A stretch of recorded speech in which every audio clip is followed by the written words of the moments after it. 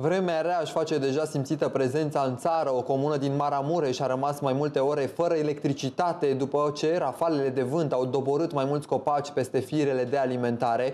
Afectat a fost și un stâlp de telefonie. Echipele de intervenție de la firma de furnizare a electricității au venit imediat, însă din cauza terenului greu accesibil au solicitat ajutorul pompierilor. După trei ore de întrerupere, furnizarea energiei electrice în comună a fost reluată.